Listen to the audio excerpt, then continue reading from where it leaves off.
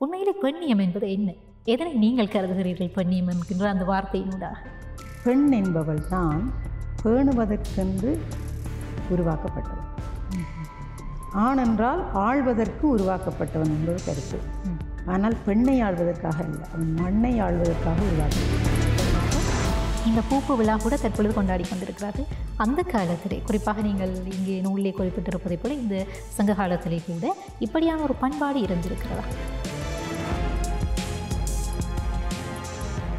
ஒளியும் காண இல்லை நிறத்தையும் தெரியாது. ஆனால் கொக்கரிக்கிற சத்தத்தை கொண்ட அளவை கொண்டு இன்றைக்கு கருவி வச்சு அளக்கிற அந்த ஒலி கருவிக்கும் அப்பால் அவளுடைய மாற்றமில்லையாக இருந்தது. ஒரு பார்வையில் விழுத்துவோம். என்ன? இப்போ நான் சொன்னால் சிரிப்பினை கேட்குற நேரில் சிரித்து கொண்டிருப்பார் இந்த கிழவி இப்படி சொல்லுது என்று சொல்லி. அந்த பெண்ணுக்கு அந்த பேராற்றல் இருக்கு.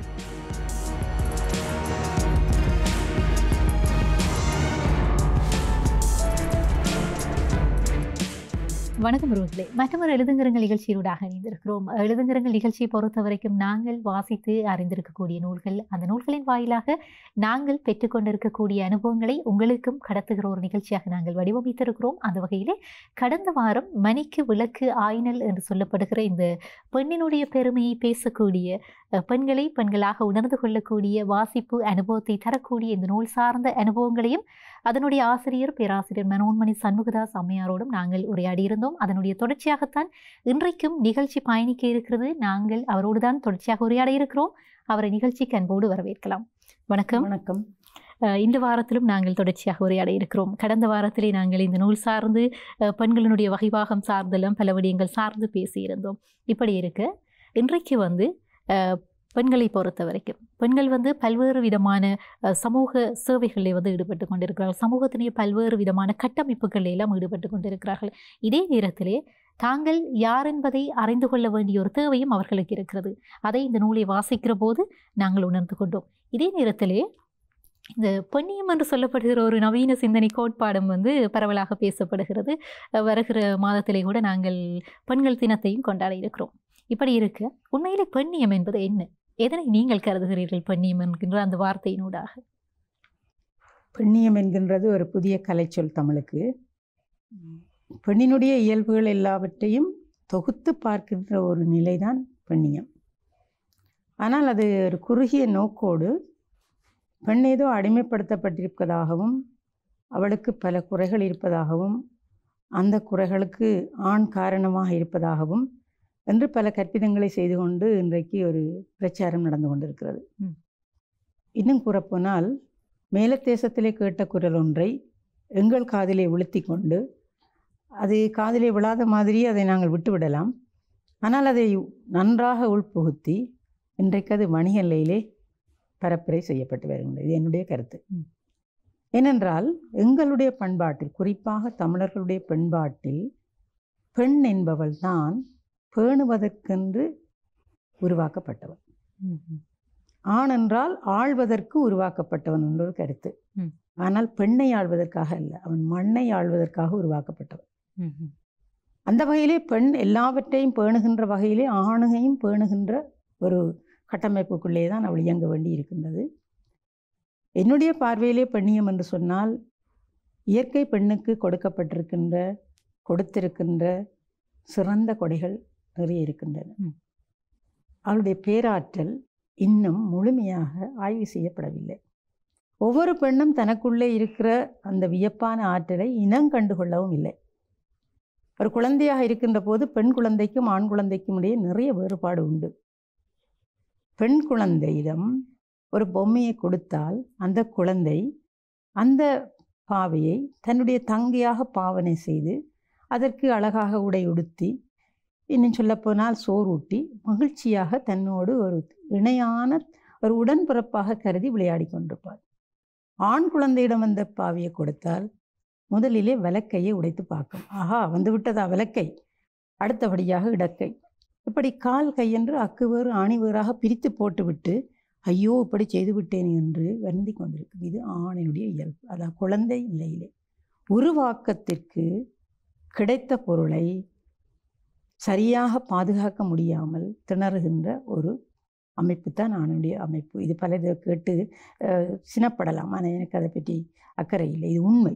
ஆனால் அந்த பெண் குழந்தை பருவமடைந்த பின்னர் அவளுக்கு இன்னும் பேராற்றல் ஒன்று கிடைக்கிறது. பூப்படைதல் என்று சொல்லுவார்கள். ஆணும் பூப்படைகிறான். அது ஆண்களுக்கு தெரியும். அது உலகமெங்கும் பெரிய பரவலாக ஒரு விழாவாக கொண்டாடப்படவில்லை. ஆனால் பெண்ணினுடைய பூப்பு அறிவிக்கப்பட வேண்டிய ஒரு செய்திதான். ஆனால் அந்த அறிவிக்கப்பட வேண்டிய செய்தி அவள் பூப்படைந்த பின்னர் உண்மையிலேயே அவள் ஒரு வளமான நிலமாக மாறிவிட்டாள் என்பதுதான் பொருள். ஒரு குழந்தையை தன்னுடைய கருவில் ஏற்று தாயாக அவள் தன்னுடைய வளர்ச்சிலைக்கு தொடக்க நிலையாகிவிட்டாள் என்கின்ற அந்த நிலையை மறந்து இப்போது பூப்பு நீராட்டு விழா பூ புனித நீராட்டு விழா என்று சொல்லி ஏறக்குறைய நான் நினைக்கிறேன் ஒரு நாள் சடங்காக எங்களுடைய தமிழர்களில் மிக அலங்கோலமான நிலையில் நடக்கின்றது. இது அது ஒரு புறம் இருக்கட்டும் அதை இப்போது பேசுவதில் பயனில்லை. ஆனால் அந்த நிலை பல்வேறு சக்கட சங்கடங்களையும் சிக்கல்களையும் உருவாக்கி இருக்கிறது என்பது பலருக்கு தெரியும் சிலருக்கு தெரியாது. அந்த வகையில் இந்த ஆற்றல் பெற்ற பெண் ஒரு குழந்தையை தன்னுடைய கருவிலே தாங்கி இருக்கும் போதுதான் ஒரு தாயுடைய உணர்வுகளை பெறுகிறாள். நேற்றைய தினத்திற்கு முதல் நாள் தாய்மொழி தினம் கொண்டாடப்பட்டது உலகெங்கும். கொண்டாடப்பட்ட போது சில ஆய்வு கருத்துக்கள் வெளிப்படுத்தப்பட்டன. அதில் வெளிப்படுத்தப்பட்ட கருத்திலே ஒன்று கருவிலே இருக்கின்ற குழந்தை தாயினுடைய மொழியை கேட்டு கேட்டு தன்னுடைய மொழியினுடைய திறமையை உள்வாங்கிக் கொள்கிறது என்கின்ற ஒரு கருத்து. அது உண்மைதான். ஒரு குழந்தை பிறக்கும்போது எழுபது வீதமான மூளை வளர்ச்சியோடு பிறக்கிறது என்று ஆய்வு சொல்லுகிறது. மீதி முப்பது வீதம் அதுக்கு பிறந்த பின்னர் புறச்சூழலினாலே கிடைக்கிறது என்பது. அப்போ எழுபது வீதமான மூளை வளர்ச்சிக்கு அடிப்படையாக இருக்கின்ற அந்த மொழி அறிவு தாய் குழந்தையோடு பேசுவதன் மூலமும் மற்றவர்களோடு பேசுவதன் மூலமும் அந்த குழந்தைக்கு சென்று சுவருகிறது அந்த வகையிலே தாய் தன்னுடைய முதல் குழந்தையை பெரிதாக உணர்வதில்லை. இது என்னுடைய அனுபவமும் கூட. முதல் குழந்தை இவ கருவிலே இருக்கும்போது எதுவுமே தெரியாது. ஏதோ நோயுற்றது போல தான் நான் எண்ணிக்கொண்டிருந்தேன் இது எல்லா. தாய்மார்களுக்கும் ஒரு பொதுவான கருத்து. ஆனால் இரண்டாவது குழந்தை பிறக்கும்போது என்னுடைய குழந்தையை நான் கருவிலேயே உருவாக்க வேண்டும் என்கின்ற ஒரு அந்த வளர்ச்சி நிலையை பெண் அடைந்து விடுகிறாள். ஆனால் எங்களை சுற்றி இருந்தவர்கள் முதல் குழந்தையாக இருந்தபோது அதை சொல்லித் தந்தார்கள். நீ தாயாக போகிறாய். சுற்றி இருந்தவர் மட்டுமல்ல ஊர் முழுக்க கூடி ஒன்று கூடி இந்த மகப்பேற்றை வரவேற்றது. ஆனால் மனித வலி தேவைப்பட்டது உலகத்திற்கு. இப்போது மனித வலி தேவையில்லை தான். எல்லாமே இயந்திரமயப்பட்ட பின்னர் இந்த ரோபோ வாழ்க்கையிலே எங்களுடைய வாழ்க்கை முற்று முழுதாக அமைதியாக நடக்கும் என்கின்ற எண்ணப்பாடு இருக்கின்ற போது மனித வலுவை பற்றி சிந்தனை இல்லை. ஆனால் நான் நினைக்கிறேன் ஒரு ஐம்பது ஆண்டுகளுக்கு முன்னர் என்னுடைய ஊரிலே ஐந்து பேருக்கு பத்து குழந்தைகள். எண்ணி பாருங்கள். பத்து குழந்தைகள் என்றால் தாய் தந்தை சேர்த்து பன்னிரெண்டு பேர். அவர்களோடு அவர்களுடைய தாயின் தந்தை மூன்று தலைமுறைகள் பதினாலு பதினைந்து பேருக்கு மூன்று நேர உணவும் உடனடியாக ஆக்கி கொடுக்க ஆற்றல் படைத்த பெண்ணாக அவள் இருந்திருக்கிறாள். இதுதான் பெண்மையினுடைய பேராற்றல். அவ்வாறு ஆக்குகின்ற பெண் அந்த தாய்மை நிலையிலே அந்த வீட்டில் இருக்கின்ற அத்தனை பேருடைய உடல் நலம் உளநலம் சுவை நலம் எல்லாம் அறிந்து அவற்றை ஆக்குகிறாள். அவளுக்குள்ளே இந்த மருத்துவ அறிவு மற்றவர்களுக்கு தெரியாது. சும்மா வெளியில் இருக்கிற முசுட்டச் செடியை ஆய்ந்து கொண்டு வந்து அவள் ஆக்குகின்ற கறி நன்றாக இருக்கிறதுன்னு சொல்ல கணவனுக்கு தெரியும். ஆனால் அவளுக்கு தெரியும் அதிலே எப்படி கறி சமைப்பது? இன்றைக்கு ஒரு கறி தான் இருக்கின்றால் ஒரு கத்தரிக்காயை வைத்துக்கொண்டு ஐந்து கறி எடுத்து விடுவாள். ஐந்து விதமான வகையாக சமைப்பாள். இது யார் கட்டி கொடுத்தது? இது மரபாக கையளிக்கப்பட்டு வந்த ஒரு கற்பிதம். அவளுடைய தாயிடமிருந்து அவளுடைய தாயிடமிருந்து மரபாக இந்த சமையல் கலை பெண்ணுக்கு கைவந்த கலையாக இருக்கின்றது. ஆனால் இன்றைக்கு ஆண் மிக நன்றாக சமைப்பான். எங்கே ஒரு பெரிய உணவு விடுதியிலே அவன் முதல் சமையலாளியாக இருந்தால் அவனுடைய சம்பளம் நாங்கள் சொல்ல முடியாது. அது வெளிநாட்டில் என்றால் அது எக்கச்சக்கமான சம்பளம். இது ஏன் சொல்லுகிறேன் என்று சொன்னால் பெண்ணுக்குள்ளே இருக்கின்ற அந்த பேராற்றல் வணிகமயப்படுகின்ற போது அந்த ஆற்றல் கவனிப்பாரட்டு போய்விடும். இருந்தாலும் ஒரு தாய் தன்னுடைய குழந்தைக்கு கருவிலே இருந்து உணவளித்து அதன் பின்னர் தன்னுடைய உதிரத்தையே பாலாக ஊட்டி வளர்த்து அவனை ஒரு மனிதனாக உருவாக்குகின்ற போது அவள் எவ்வளவு பெரிய ஆற்றல் உடையவள் என்பதை நாம் மறந்து விடுகின்றோம். ஆனால் அவளுக்கு ஆற்றலுக்கு உறுதுணையாக இருந்த பெற்றோர் உற்றார் உறவினர் உலகம் என்று கூட சொல்லலாம். அத்தனையும் இப்போது இயங்காமல் இருக்கின்ற வேளையிலும் கூட அவள் தனித்து தன்னுடைய குழந்தைகளை வளர்க்கின்ற நிலையை நாம் கண்டிருக்கின்றோம். எனவே இந்த பெண்ணினுடைய பேராற்றல்களை இனங்காணக்கூடிய வகையிலே சில நூல் பதிவுகளை ஆக்க வேண்டும் என்பது என்னுடைய ஓர் ஏக்கமாக இருந்தது.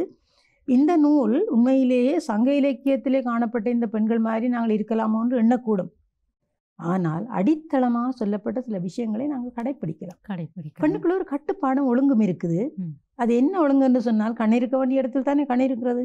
மூக்கு இருக்கிற வேண்டிய இடத்துல கண்ணை வைத்து விட்டால் எப்படி இருக்கும்? அவளுக்குரிய ஆடையை விடுத்து அவள் ஆணினுடைய ஆடை போடுகின்ற போது தற்செயலாக அவளுடைய தலைமையிலும் குட்டையாக இருந்து விட்டால் வருவது ஆணோ பெண்ணோ என்பது தெரியாது. இன்னும் சிறப்பாக பெண் பருவமடைந்த பெண்ணை இனம் காணுவதற்கு அந்த காலத்தில் ஒரு புதிதாக ஒரு அணிகலன் பூட்டினார் மூக்கிலே.